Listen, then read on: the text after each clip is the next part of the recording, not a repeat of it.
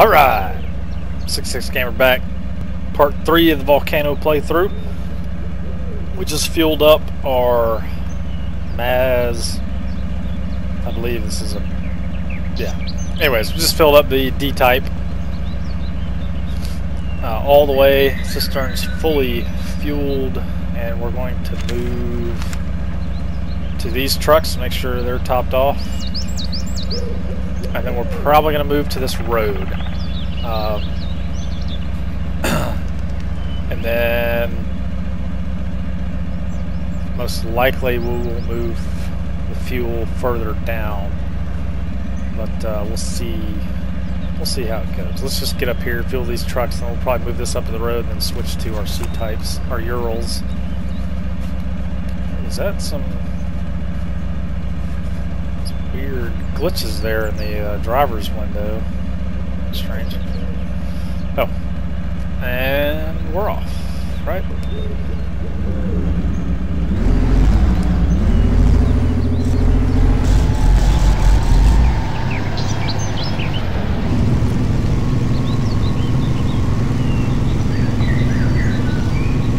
Now, this is easily the, uh, probably the most capable truck in the game. This truck's awesome. I even love the way it looks, man. All the air vents, the the uh, molded like louvers, I guess you would call that louvering. It's just this truck is just awesome. Um,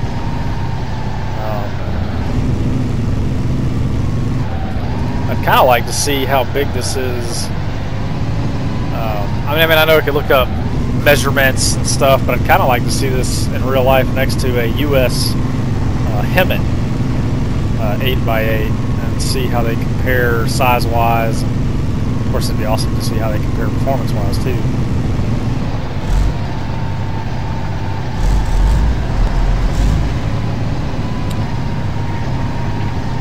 Now, I haven't even jumped. I unlocked these trucks with the UAZ. There goes physics bubble. Uh, unlocked these trucks with the UAZ, but I didn't even jump in them to see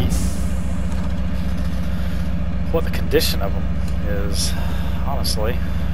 Let's see. Whoop. I'd like to be able to do all of this with the because everything uses like boxes. It, I think you could just about do the entire. You should be able to do the entire game from a gamepad and have toggle buttons to toggle through uh, local menu, like the winch points or vehicles. You know, hit the change vehicle. Maybe have a. I'm, I'm pointing at my computer or monitor for those of you that can see me. Um, maybe a button that can toggle up and down on the truck menu, the advanced menu, you know. Uh, it would just be nice to be able to play the whole game from a, a control pad, but that may come, and I know there's some third-party software, I guess, that uh, allows you to do certain things. Oh, so this definitely needs fuel. Does it have any fuel in the cistern? Well, yes it does. It has 400 liters. Normally they don't give you fuel. And let's now these both these trucks have highway wheels, so and yeah, these are the older T55s, right? Now this one needs fuel badly. Let's keep the fuel in the utility trailer. So let's change back. We got a lot of fuel here. Whoop, camera, funky camera. There we go.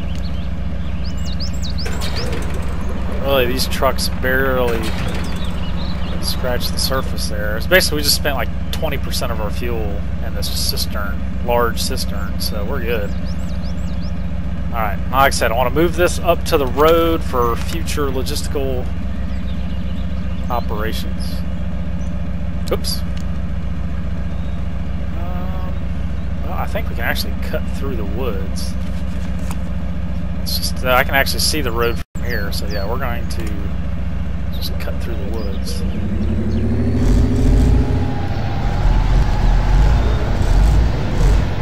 Some wheel spin on the right side. Which seems odd because it seems like we're on concrete, but...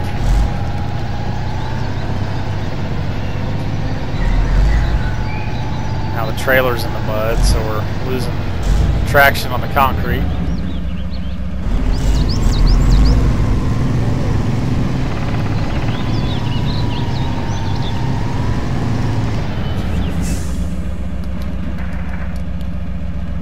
This kind of demonstrates that really differential locks on axles is almost more important than more ax more driving axles because an open drive axle is only really one powered wheel.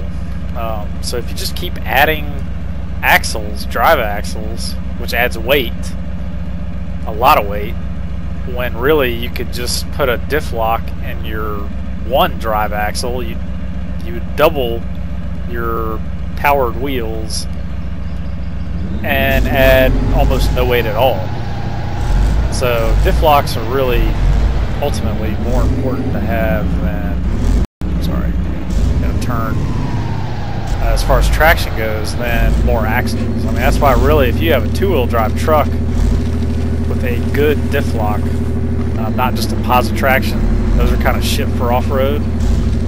Um, I mean, some of them are okay for front axle use, uh, where you don't, a lot of times you don't really want a true locker in your front axle uh, due to turning uh, under power. Um, you know, if you had a, a rear, a two-wheel drive truck with a true locker, uh, like a Detroit locker, which is probably the best there is uh, as far as durability and ability. Oh, I just turned off all my traction aids. I love the sounds, and I love the uh, heat haze and the smoke effects probably some of the best I've ever seen. Uh-oh. That's a little steep. I'm going to be more positive now. I think I've done enough ranting in my last few videos, so we're going to be positive. And now I'm super psyched because I just read about, uh, I read all the, where'd that go? All the, uh, change logs for the real mod and I am super stoked to try that out. Um, I do think I do think that Maverick SU35, I think it's full full username on the Oovee forums, on the English Oovee forums, uh, has a better approach to the mud problem than just making the mud grippier. I think is what uh, is it Pressureline, I think, that's doing real mod. Let me check that real quick. Hold on. Yep, definitely uh, it's Pressureline, one of the moderators. Um, I think Maverick has a better approach to how to fix the mud, but a, lo a lot of the other... I wish I could... I'm, and, and because they're both just tweaking stock game files for the most part, well, Pressureline does, and like I think change three and four, he does start adding actual mods into his package.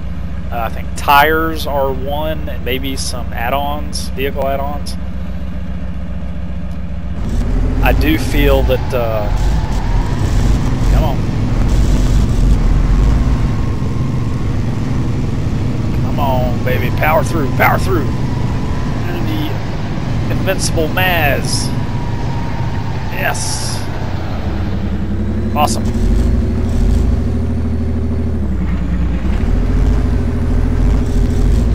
Yep, nope. See, diff lock, boom. Now we have four drive wheels on two axles.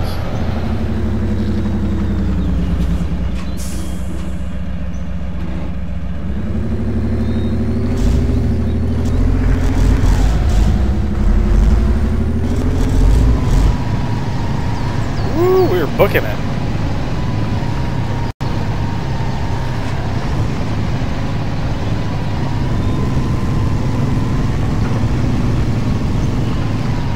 Booking it.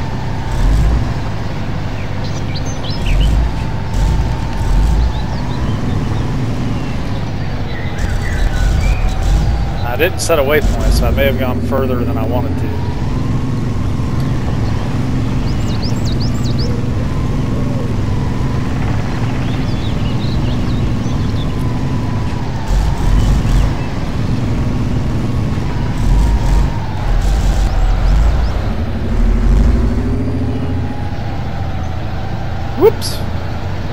That could have been bad. Oh, oh,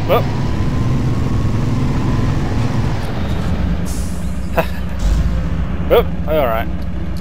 Let's check the map. And see, I kind of wish there was a map follow point. Uh, we do have... I forgot we left the UAZ in a puddle of water practically destroyed. Okay, so it's time to leave our mobile fueler fuel base.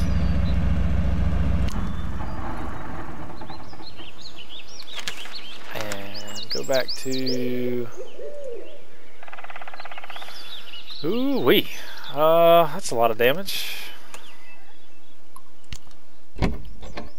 So we're going to basically use all of the repair points in the utility trailer to repair these two trucks. That's basically what's about to happen.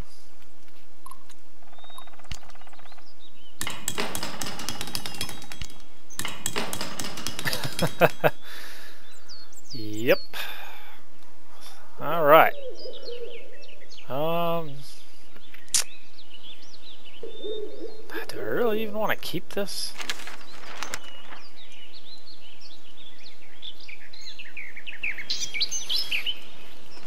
Um. Oh, actually, there's a good. I can just go down the road and cut across here. That should be a pretty pretty quick trip, actually. So we'll see if we can make it with this trailer. If not, then we'll take the other truck or drop the trailer because we can pick another one up at the garage once we get there. But see, I think you know if you drop a trailer, that should cost you, right? You shouldn't be able to just litter the map with trailers. Um, you know, if I drop this trailer, it should cost me to get another one, but uh, maybe somebody's working on that, or maybe I can start break into programming. I don't know. Try to figure it out.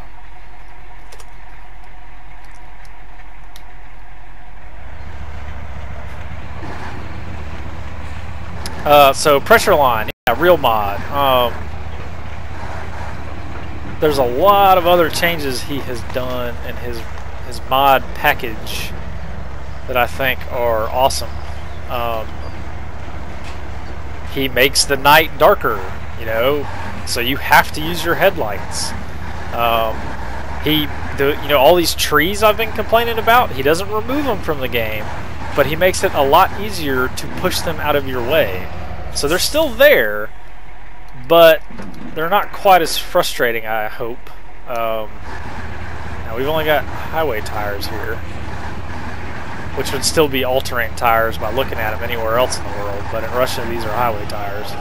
All-terrain tires are considered highway tires in Mother Russia.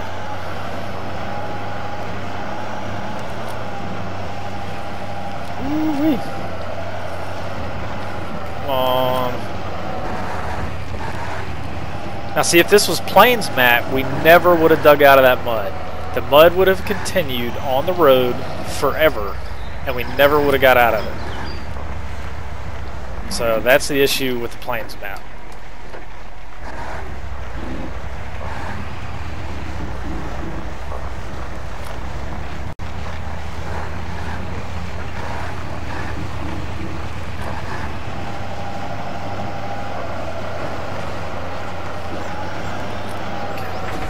Check real quick. I just lost my momentum, but no, we don't want to turn off yet. We want to turn off. Actually, yeah, where the where the other truck is.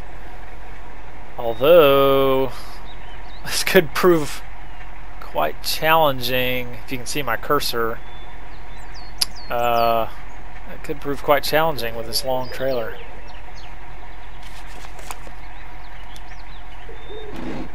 Let's go and start with a diff on. Can't do that.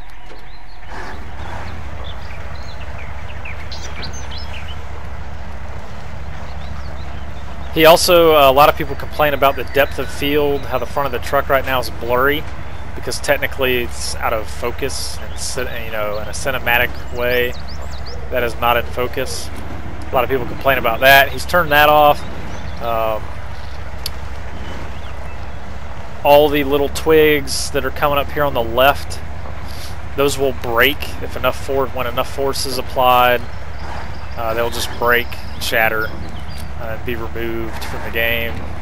Uh, apparently which I think they can that can be done now but I guess he maybe he lowered the required force factor. Um, and the fallen trees will move, at least rotate, and be, be able to be pushed out of your way a lot easier. Um, now, he did some things that kind of made sense to the vehicles, like made more tire options available. Um, you know, which does kind of make sense on some of the trucks. He adjusted the gears, so now some of the trucks have five-speed transmissions where they only had four or maybe three. And oh, I didn't realize this be. Oh, that, oof, that's right. This is a really nasty. Go, go, go! This is a really nasty. Uh, there's no way. Thank you. I was about to say, there's no way I'm gonna get diff damage up here. Come on, you old, old, rusty, trusty, trusty, rusty. Oh, we're still moving. We are still moving, and we're starting to dig. Uh, we may have hit.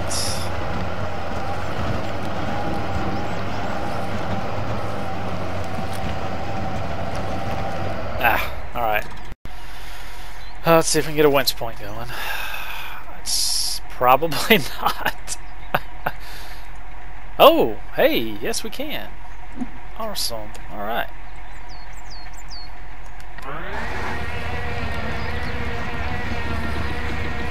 So now the problem is I'm going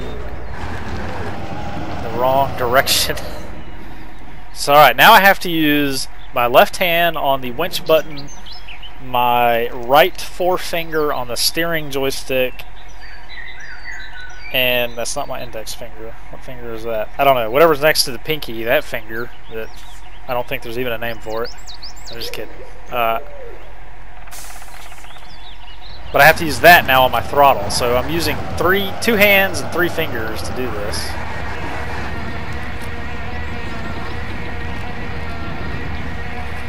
Oh, we're, we're, ooh, this is not, no, that's not good either, because now the problem is our angle is entirely too steep.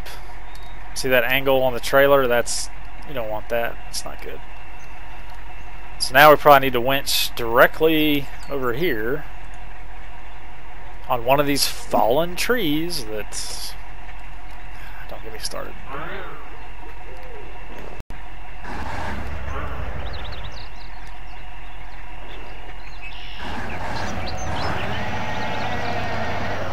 Now see, I'm actually leaving the parking brake. This is probably the first time I've ever made this, I've ever used this technique, but it's kind of what I need to do.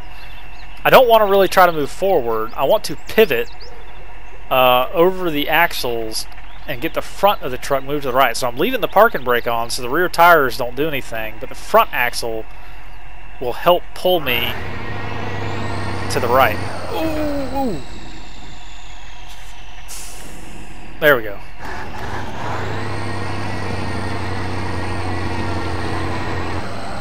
See, that's actually, now I'll take the parking brake off.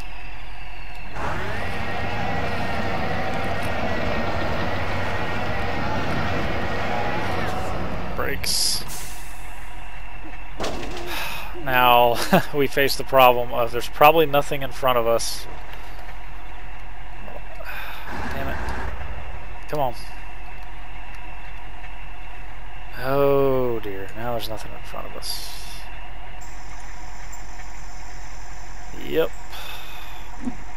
Hopefully this baby sapling is pretty strong. I guess trees are stronger in Russia than everywhere else. Oops.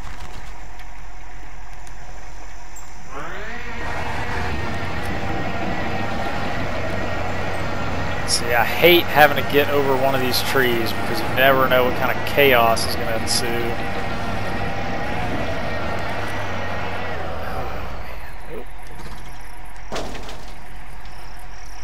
D-pad camera is much more controlled. Ah, made it just far enough just far enough. And we'll go three fingers again.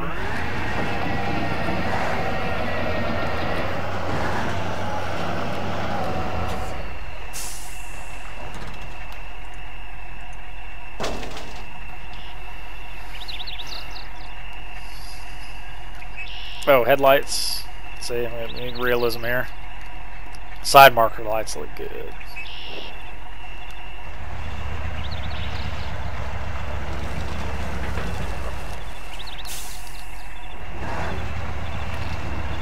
Alright. Should be... As long as don't get stuck on a rock.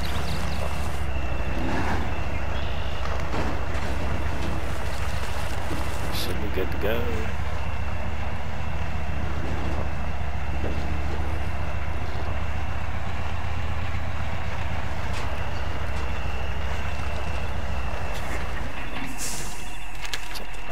Should set waypoints. Yep, we do. We want to go up here. Not there. I want to go up here to here.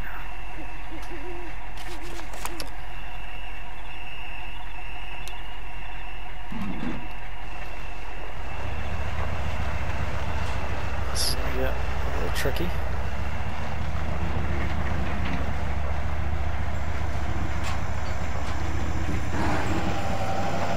Uh, I, was, uh, I was afraid. I was trying not to go full throttle, but then the front front axle finally hit a deep spot. Oh, crap! But there should be trees, right? Should be trees. Ooh, uh, no, they're kind of far away.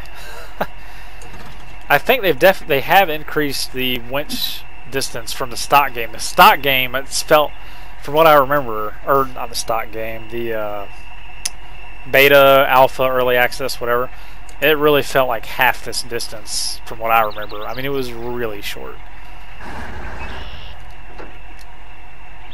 That is not what I want to do. That's not what I want to do either.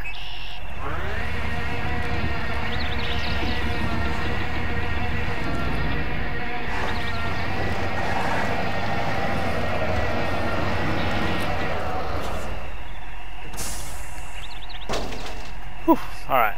Come on. Camera. Camera. Yes, this camera does get...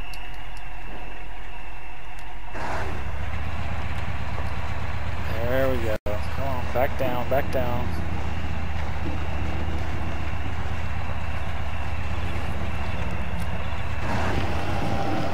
Ah, shoot.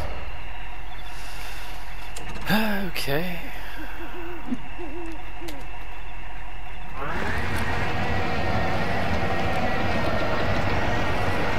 And we'll get to the garage and call it an episode because I forgot to set my timer again.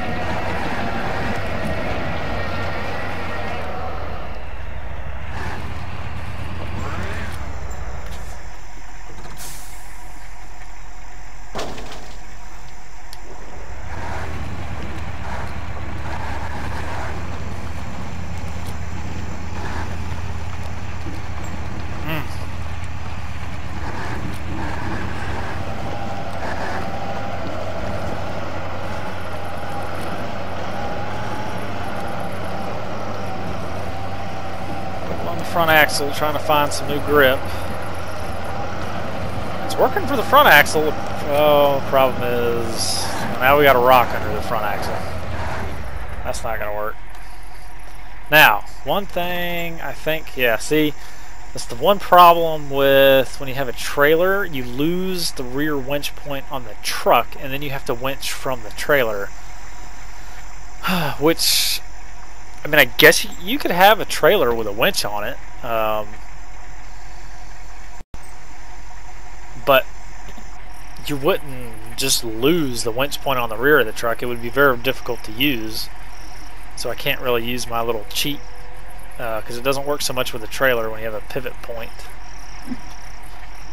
between you and the rear winch point. You can't really use my little tricks with the rear winch point like that. Nope. Sorry, three fingers here.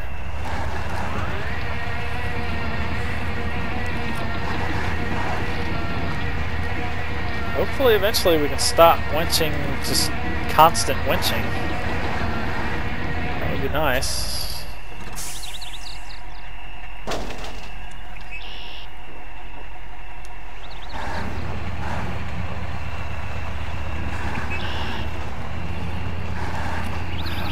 Come on, you can do it. And I'm pretty sure the little rocks crumbling is new. Well, not new new, but like that was not in the beta. Uh,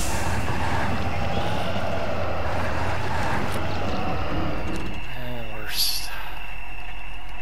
This is not very exciting gameplay, is it?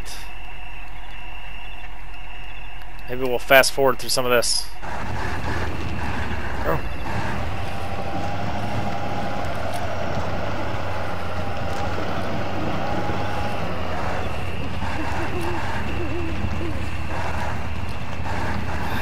Jeez.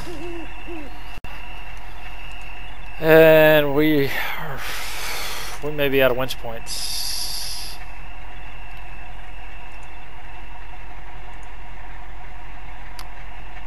Useful winch points. uh, I don't know. That just is going to make us go across the muddy road. Maybe we should get back back on the shoulder.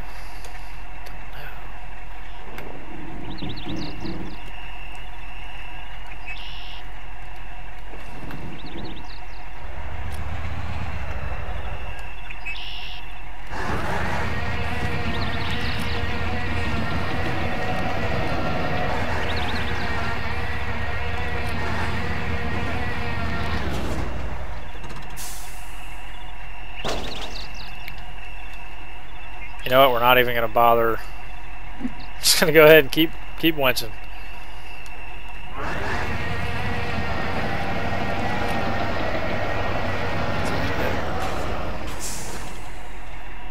Now we might be able to get a run on things here. And actually, I'm supposed to be going. Oh my gosh! Oh my gosh, guys! What did I do? Oh no. That was... I'm supposed to be going that way.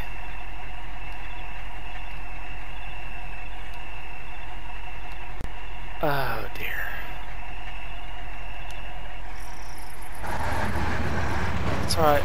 It's alright. We're gonna get up some momentum. We're just gonna cross this road. Run over these trees and get back on track. What, what, what did we just hit? What the hell? Do not tell me. Is it really that little tree? Come on. Oh, there are trees on the ground. You see those? I think it's this little dead sapling is screwing us up.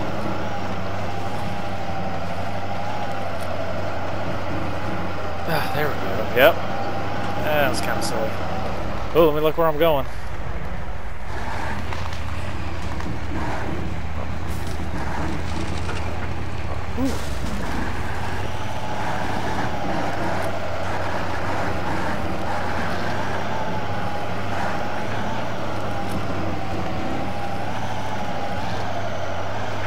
Let's get to this garage.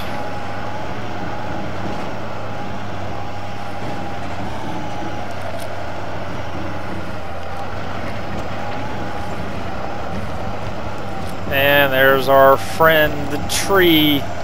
The fallen freaking tree. Okay, the garage is right there. I'm gonna, uh, I'm gonna spare you guys the rest of this agony, and we'll we'll catch up to you when we're at the garage.